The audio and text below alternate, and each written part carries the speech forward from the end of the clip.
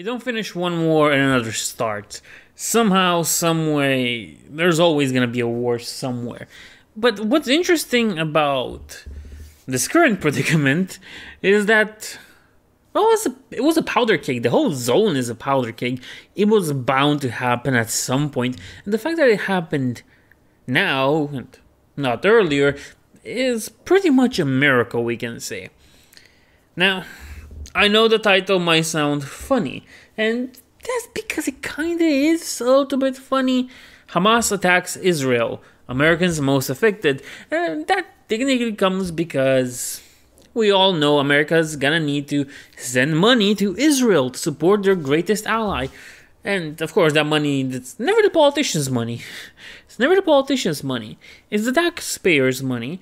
Money that should be, you know, spent on those roads that everybody likes to talk about when we bring up how taxation is theft. To get the interesting perspective, rockets always came from Palestine towards Israel. But I don't think it happened ever for the Iron Dome to fall. Now, for those of you that don't really know, the Iron Dome isn't really a physical thing. It's pretty much like NATO's or NATO's defense systems in Eastern Europe. It's called a dome, but it's technically rocket launchers that are made to intercept incoming uh, rockets, I guess. And because of that, it wears the name the name of a dome, but that didn't make much sense to me either when I learned about this. But whatever.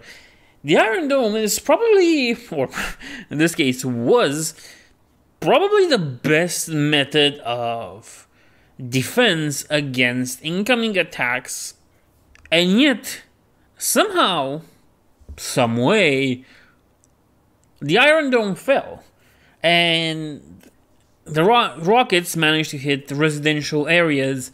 And uh, I can show whatever the name is. I, I'm not good with my Yiddish and that's quite surprising and it's really surprising and it really makes you think. It's the same technically the same system we have in eastern europe and now there might be reasons to be scared that our defenses might not survive an attack at some point but nevertheless i'm getting ahead of myself. Never has this happened and this only shows us that we truly are living in the worst of realities. Worst one out there, it's no doubt about it. Especially with this happening, oh boy. Now, Mario Nawafal, uh, he's a correspondent that talked. Well, I guess he grew into prominence thanks to the whole Prigozhin thing in uh, Russia when the Wagner group decided to do a little coup. Because it's funny. they're they're fun fun lads like that. Silly little fellas. Now Mario Nawafal says that there might be links to Iran, so Iran might have helped uh, Hamas after all, and that's technically not confirmed. There's no confirmation specifically about that. But what's interesting is what the Iranian government or the official Iranian news said and their statement. Here's the statement. I like saying statement. It's my new favorite word of the day. Word of the day. We congratulate the Palestinian fighters. The advisor and senior aide for Armed Forces Affairs to Iran's Supreme Leader Yahya Rahim Safavi said, We will stand by the Palestinian fighters until the liberation of Palestine and Jerusalem. Now, this doesn't confirm anything. This only confirms that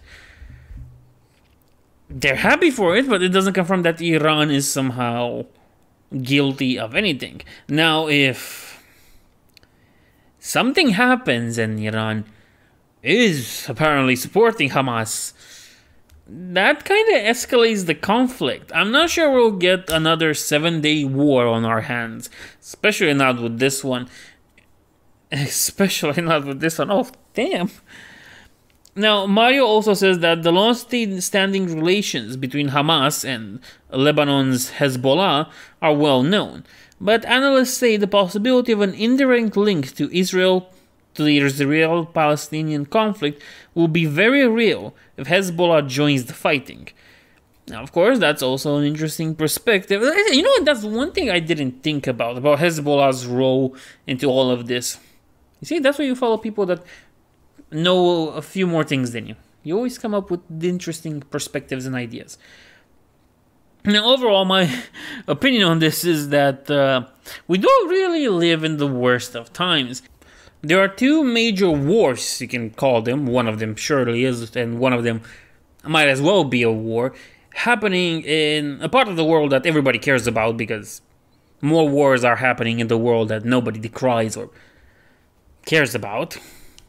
And America's hegemonial power, you know, the world police, that was enough of a threat to kind of stop this, especially after the whole deal that they did with Serbia and uh, Yugoslavia back in the day, because they didn't really get authorization from uh, the UN or NATO to do those bombings, did they? Anyway, different problem.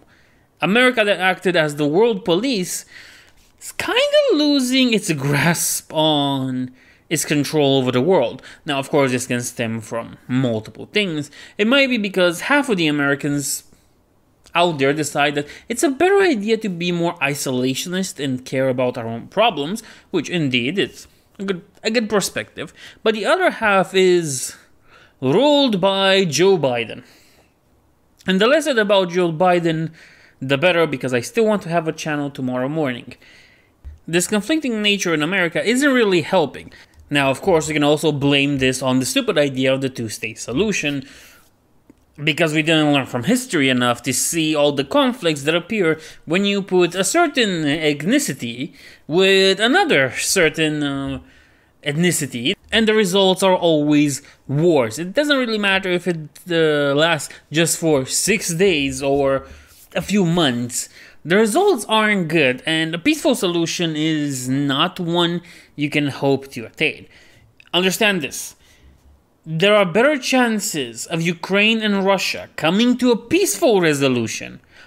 And read this peaceful in the sense that they stop fighting and they just go their ways.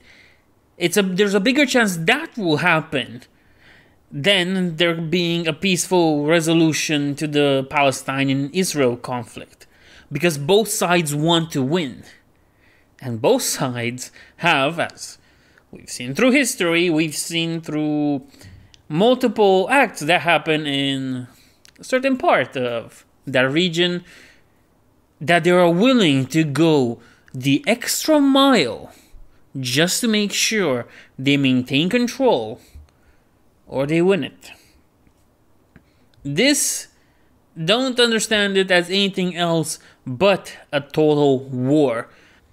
The winner will be decided by who has the strongest friends at that moment and who can afford the most.